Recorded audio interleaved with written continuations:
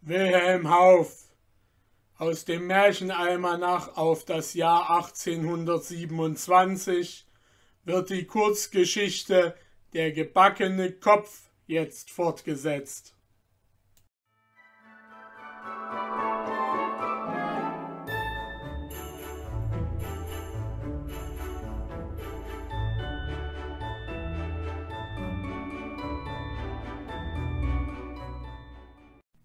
Der Unglückliche, welcher ausgestellt war, war angeklagt worden, ein mohammedanisches Kind gestohlen und getötet zu haben, wie sie es in Persien und der Türkei oft getan. Dies hatte unter dem Pöbel von Stambul einen solchen Auflauf gemacht, dass man ihm, um Ruhe zu stiften, ohne weiteres den Kopf abschlug. Seine Enthauptung hatte man absichtlich vor der Türe eines Griechen vorgenommen und befohlen, den Leichnam drei Tage dort ausgestellt zu lassen, ehe er begraben würde. Der Beamte, der dies angeordnet, hatte nämlich geglaubt, der Grieche würde dadurch bewogen werden, eine hübsche Summe zu bezahlen, damit etwas so Schändliches von seiner Tür geschafft würde. Aber unbekümmert um die Folgen, obgleich man gewöhnlich Unglück aus einem solchen Gegenstand weissagt, hatte der Grieche seine Fenster geschlossen, denn er wollte seinen Unterdrückern diese Summe nicht zukommen lassen. Außer den Muselmännern selbst wagten es wenige Leute, diesem Ort sich zu nahen, aus Furcht, die Obrigkeit möchte, um allen Schimpf über die Giaurs zu bringen, einen vorübergehenden nötigen, den Kadaver nach dem Begräbnisplatz zu tragen. So wurde der greuliche, ekelhafte Körper sich selbst überlassen, und Yanaki hatte gute Gelegenheit, den Kopf ungesehen loszuwerden.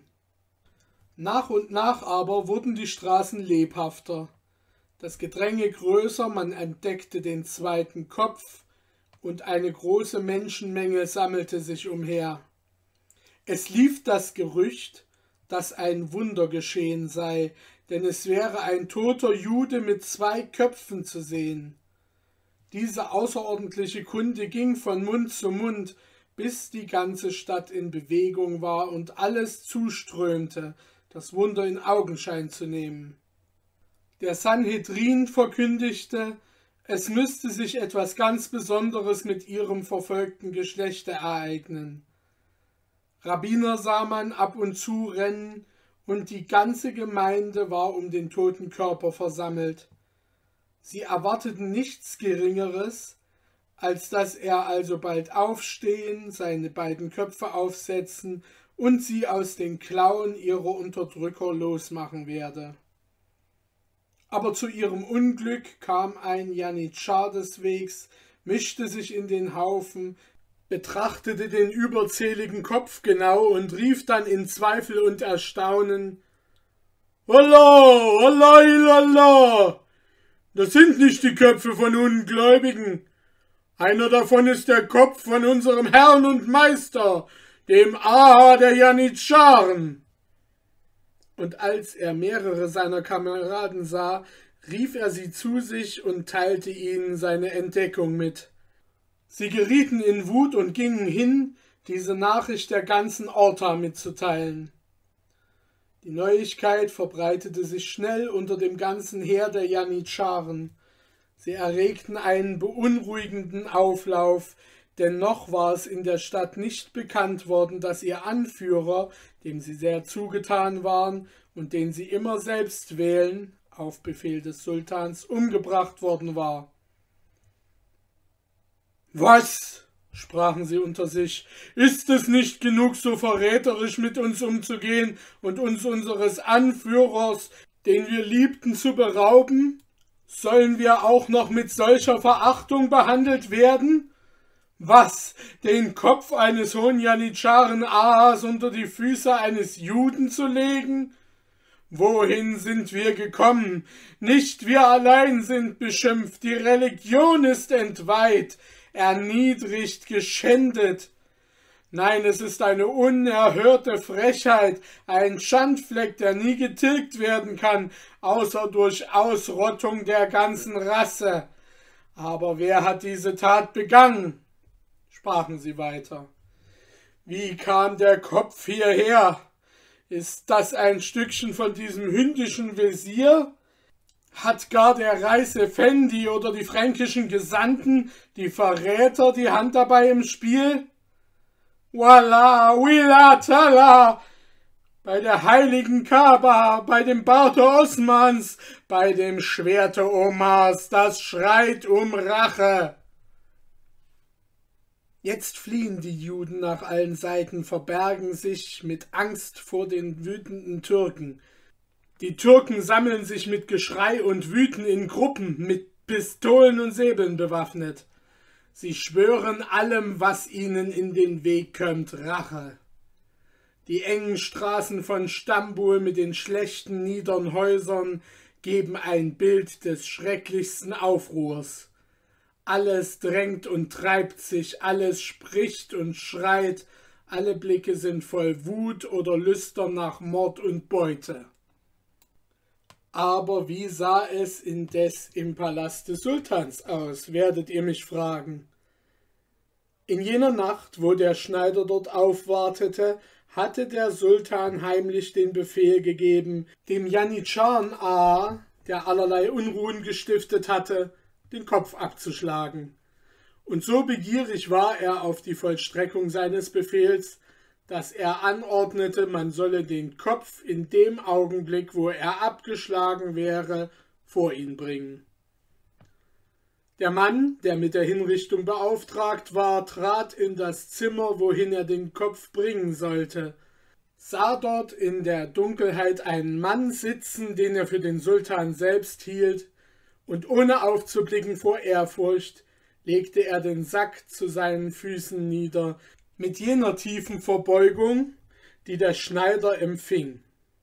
Der Sultan, der einen Augenblick zuvor das Bündel mit dem Derwischanzug selbst weggenommen, hatte dies in der Absicht getan, Mansuri seinen Sklaven zu täuschen. So sehr wünschte er in seinem neuen Anzug sogar diesem unbekannt zu bleiben. Er gedachte einen anderen dafür umzutauschen, aber sei es, dass er nicht auf den Empfang des Kopfes gerechnet oder dass Mansuri zu schnell wiederkam, er wusste nicht, was er machen sollte, als er in das Zimmer zurückkam und sah, dass sein Sklave den Schneider schon weggeführt habe. Er konnte niemanden ihnen nachschicken, ohne seinen geheimen Plan zu vereiteln, und so war er genötigt, auf die Rückkehr Mansuris zu warten um eine Aufklärung über die Geschichte zu bekommen, denn er wusste doch, dass er ohne den Anzug nicht weggegangen sein würde. Und doch hatte er selbst diesen Anzug, um ihn zu vertauschen, weggenommen. Während diesem schickte er aber, ungeduldig wie er war und begierig zu wissen, was mit dem Kopf, den er erwartete, geschehen wäre, nach dem Offizier, der zur Hinrichtung befehligt worden war. Und wer beschreibt ihr beiderseitiges Erstaunen, als es zur Erklärung kam? Der Offizier wollte den Kopf gebracht haben, und doch war der Kopf nicht zu finden. Bei meinem Bart, rief der Sultan nach einigem Nachdenken. Jetzt wird mir die Sache klar, bei meinem Bart, der Schneider muss den Kopf mitgenommen haben. Jetzt stieg seine Ungeduld, Mansuri wiederzusehen, aufs höchste. Umsonst tobte, wütete er, umsonst schrie er Allah, Allah. Der Sklave kehrte nicht eine Minute früher zurück. Und der gute Sklave hätte sich beinahe zur Ruhe gelegt, hätte ihn nicht der Sultan noch vor sich rufen lassen. Als er ihn ansichtig wurde, rief er Ach, Mansuri, laufe, renne zu dem Schneider, er hat den Kopf des Janitscharen ah, statt des Derwischanzugs mitgenommen. Lauf, hole ihn ohne Zaudern, oder es gibt ein Unglück. Und zugleich sagte er ihm, wie dieser sonderbare Zufall sich ereignen konnte. Mansuri seinerseits war nicht wenig in Verlegenheit. Er wusste zwar die Flickbude des Schneiders, aber sein Haus war ihm unbekannt. Doch um die Ungeduld seines Herrn nicht zu steigern, machte er sich auf, um den Schneider aufzusuchen, und ging nach jener Bude in der Hoffnung, von den Nachbarn zu erfragen, wo der Schneider wohne. Aber es war zu früh am Tage, der Trödelmarkt war noch nicht geöffnet, und nur eine Kaffeewirtschaft wurde eben für die Kunden zugerichtet. Aber auch dort konnte er nichts erfahren. Da fiel ihm zum Glück bei, dass ihm Babadul gesagt hatte, er sei der Muezzin an der kleinen Moschee auf dem Fischmarkt. Dorthin richtete er seine Schritte. Gerade wurde der Asan, der Aufruf zum Gebet, von allen Minarets herabgesungen, und er durfte hoffen, den Kopfdieb mitten in seiner Einladung an die Gläubigen zum Gebet anzutreffen. Als er sich der kleinen Moschee näherte, hörte er eine alte, quiekende Stimme, welche die Stille des Morgens zitternd durchbrach. Er glaubte Babaduls Stimme zu erkennen, und er hatte sich nicht geirrt, denn als er unter dem Minaret stand, sah er den alten Kerl, wie er auf der Galerie umherging, seine Hände hinter die Ohren haltend, indem er mit weit aufgerissenem Mund seine Einladung ausschrie. Als aber der Schneider sah, wie Mansuri ihm zuwinkte, blieb ihm das Glaubensbekenntnis im Halse stecken, und er soll aus Furcht wegen des Kopfes Rechenschaft geben zu müssen, solch sonderbare Töne ausgestoßen haben, dass die Gläubigen in der Nachbarschaft, die auf dem Gebetsruf genau achteten, kein geringes Ärgernis nahmen an der Art, wie der Schneider Muezzin sein Amt verrichtete. Dieser aber stieg hastig herunter, schloss die Türe hinter sich ab, welche zur Treppe führte, und traf Mansuri auf der Straße. Er wartete nicht ab, bis ihm über das fernere Schicksal des greulichen Gegenstandes Fragen vorgelegt würden, sondern griff den Sklaven sogleich wegen des Streiches an, den er ihm, wie er glaubte, gespielt habe. Was seid ihr doch für ein Mensch, sagte er, einen armen Mann wie ich bin so zu behandeln und sein Haus wie ein Beinhaus zu betrachten. Ich glaube, ihr kommet bald, um auch noch das Blutgeld zu fordern. Freund, entgegnete Mansuri, was schwatzt ihr nur? Seht ihr nicht selbst, dass ein Irrtum obwaltet? So, ein Irrtum, rief der Schneider, ein schöner Irrtum, ja, ein absichtlicher, um einen armen Mann zu beunruhigen. Einer lacht über mich und beredet mich, ihm einen Anzug zu machen, ein anderer nimmt das Muster weg und ein dritter bringt einen Totenkopf dafür. Allah, Allah, in die Klauen eines Nestes voll Schelmen bin ich geraten, unter eine Versammlung von Schurken. Da legte Mansuri die Hand auf den Mund des Schneiders und sprach Schwatzet nicht weiter, haltet euer Maul. Ihr tretet immer tiefer in den Sumpf. Wisst ihr, wen ihr schimpfet? Ich weiß es nicht und will es auch nicht wissen, schrie Babadul. Aber das weiß ich, dass der, welcher mir einen toten Menschenkopf gegen einen Anzug vertauscht, ein ungläubiger Hund sein muss. Scheltet ihr Allahs Stellvertreter auf Erden einen ungläubigen Hund, ihr halb flickender, halb betender Narr? rief Mansuri in Wut. Eure Lippen sind schändlich genug, den Namen dessen zu verunreinigen, der der Alempinar, die Zuflucht der Welt ist. Schnell kein Wort mehr, den Kopf des toten Mannes heraus, oder ich schneide den eurigen dafür ab. Als der Schneider dies hörte, stand er da mit geöffnetem Munde, als wären die Tore seines Verstandes eben erst aufgetan worden. Aman, Aman, Gnade, Gnade, Herr, ah, rief Babadul.